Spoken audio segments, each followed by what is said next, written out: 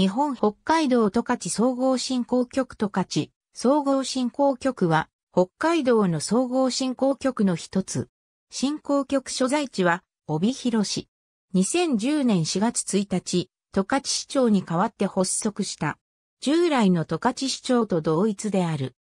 14市長を旧総合振興局、5振興局へ再編する北海道総合振興局設置条例においても、市長からの名称、所管区域の変更はなく、隣接する振興局の広域業務に関する兼務規定も定められていない。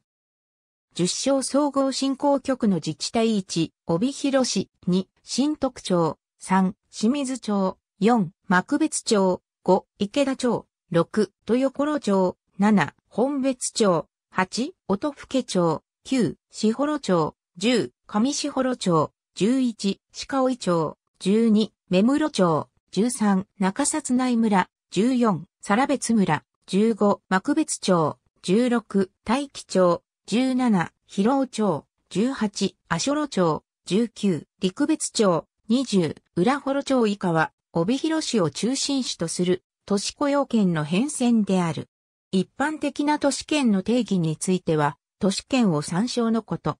農業や畜産業を中心とした第一次産業が中心産業で全国農業産出額上位100位以内に19、市町村中7市町がランクインしている。また、豊富な原材料を使用した食品製造業も盛んである。ありがとうございます。